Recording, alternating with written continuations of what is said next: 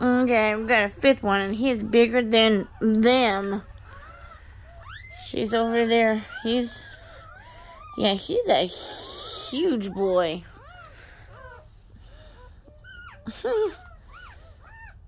Adorable. I thought she was done. I'm I'm hoping she's done now. Maybe it took a while because he's so huge for him to come out. I know, they're all crying. They're like, We're hungry, Mama, we're hungry. Well, she's busy. She's busy taking care of your sibling. He was just born. Alright, I'm out. Okay, see you later, Bubby. Are you done, Lily? You done? You're gonna have more?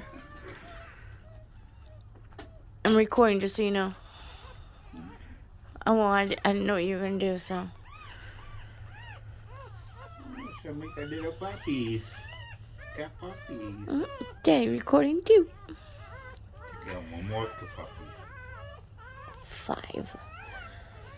It's a lot of babies. Now I'm wondering which one do I want to keep? That one that she just had, or one of them?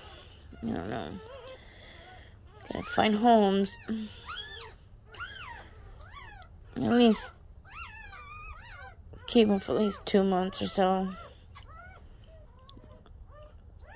Oh, she loves her babies. She loves the babies.